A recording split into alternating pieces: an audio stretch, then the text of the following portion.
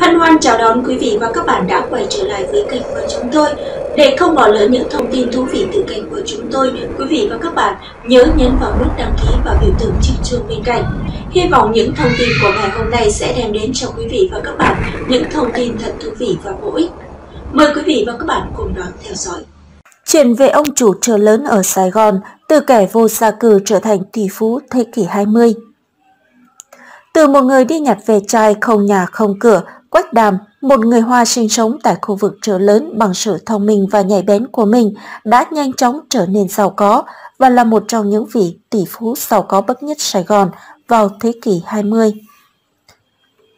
Nhắc đến chợ Bình Tây, chợ lớn, chợ đầu mối quy mô bậc nhất khu vực miền Nam, chắc hẳn người dân Sài Gòn nào cũng không khỏi trầm trồ về kiến trúc có 102 của khu chợ này. Thế nhưng, khi được hỏi rằng ai là người xây nên ngôi chợ bề thế có bề dày lịch sử gần 100 năm tuổi này thì không phải ai cũng biết. Quách Đàm, người đã đặt nền móng xây dựng nền chợ Bình Tây, vẫn là cái tên khá lạ lẫm đối với nhiều người trẻ ở Sài Gòn, bởi tuy giàu có nhưng vì sinh sau đẻ muộn nên vị tỷ phú người Hoa này chưa được dân gian liệt vào một trong tứ đại cử phú của Sài Gòn những năm đầu thế kỷ 20, bao gồm huyền sĩ Lê Phát Đạt, Tổng đốc Phương Đỗ Hữu Phương, Bá Hổ Sưởng, Lý Tưởng Quan và Chú Hòa, Huy Bôn Hoa. Mặc dù vậy, công bằng mà nói, nếu xét về sự giàu có và danh tiếng trong giới thượng lưu Sài Gòn xưa thì Quách Đàm chỉ đứng sau Chú Hòa, và hành trình để ông từ một kẻ vô xa cư trở thành chủ của ngôi trở bề thế bậc nhất xứ Nam Kỳ cũng là một câu chuyện đầy những điều lý thú. Quách Đàm sinh năm 1963, mất năm 1927, tên thật là Quách Diệm, vốn là người Triều Châu Trung Quốc. Theo ghi chép trong cuốn sách giải thoại về các tỷ phú Sài Gòn xưa của tác giả Thượng Hồng, thì Quách Đàm vốn mồ côi cha mẹ và không có nhà cửa, Thuở nhỏ ông có cuộc sống cờ cực phải sống lang thang đầu đường xó chợ. Khi lớn lên, ban ngày ông đi mua ve chai, tối về ngủ ở mái hiên ở các ngôi nhà. Tuy sống cảnh đời bấp bênh như vậy, nhưng ông Đàm vẫn nuôi trí làm giàu. Vài năm sau, dù vẫn chưa có nhà cửa, ông đã tích cóp được một số vốn nhỏ để kinh doanh. Ông mua đi bán lại các mặt hàng hiếm và lạ như da trâu, vì cá, Thời đó, những mặt hàng này chủ yếu là đem bán ra nước ngoài. Vì phải ngủ đường và ngủ chợ nên ông thường bị bọn xấu rình đánh cắp vốn liếng xấu trong hồng bao. Mất tiền nhiều lần nhưng ông Đàm vẫn không nản. Ông kiên trì làm lại từ đầu.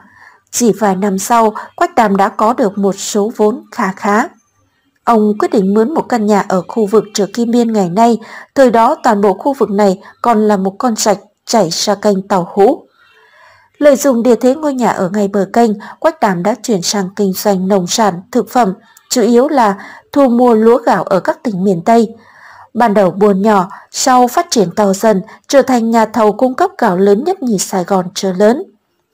Trong cuốn Sài Gòn xưa, học giả Vương Hồng trịnh đã kể về một mánh lới làm ăn, làm nên tên tuổi của Quách Đàm như sau. Lần nọ, ông sai mua lúa khắp miền Tây, trở về dự trữ ngập trong các nhà kho, chờ ngày xuất bán sang nước ngoài. Nhưng do nắm tin thị trường chưa kỹ, năm đó giá lúa quốc tế sụt giảm nặng. Với kho lúa hiện tại, Quách Đàm có thể lỗ nặng, phá sản, nên người nhà nhân công hết sức lo lắng. Lúc đó, Quách Đàm vẫn bình tĩnh như thường, ông trả mật lệnh cho nhân viên dưới miền Tây tiếp tục mua lúa giá như cũ.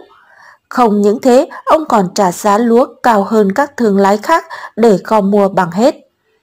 Mặt khác, Quách Đàm gửi thư cho đại diện ở nước ngoài tung tin đồn giá lúa sắp tăng vọt lên cao.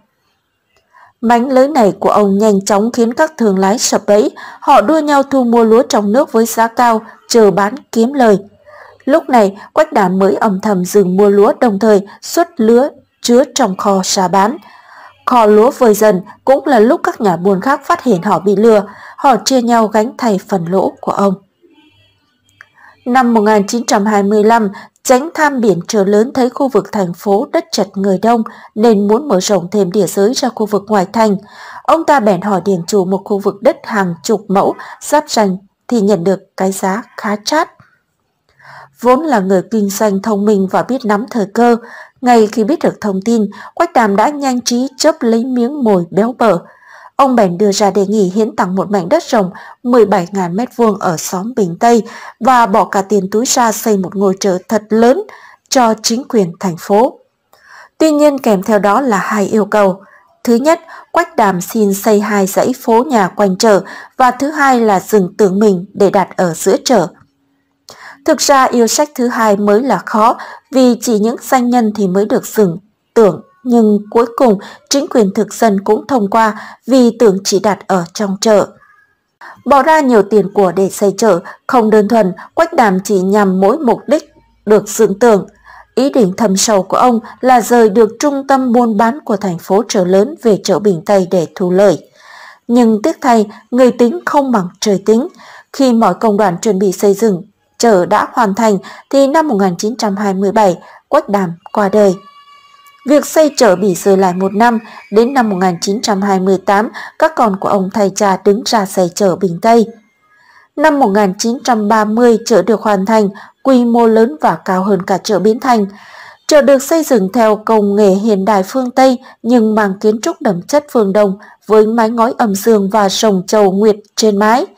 Giữa chợ có một công viên nhỏ nơi đặt tường quách đảm được đúc bằng đồng, có hồ nước và bể đá toàn bằng cẩm thạch trắng với bốn con rồng và hai con lân to bằng đồng phun nước bạc.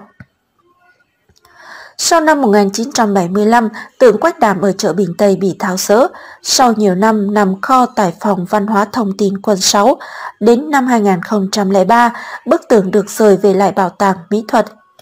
Để tưởng nhớ công ơn của Quách Đàm, các tiểu thương trong chợ đã quyên tiền dừng pho tượng mới để đặt vào vị trí cũ. Tuy nhiên, tường mới chỉ là chân dung khá nhỏ, đặt lên cũng không cân xứng nên được đặt ngay ở bể tường cũ. Dù không được tận mắt chứng kiến ngày chợ Bình Tây được hoàn thành, thế nhưng tin rằng Quách Đàm sẽ luôn tự hào về công trình mà mình đã tâm huyết để lại. Gần một năm trôi qua, chợ Bình Tây vẫn sừng sững với thời gian và luôn là niềm tự hào của cộng đồng người Hoa ở Sài Gòn.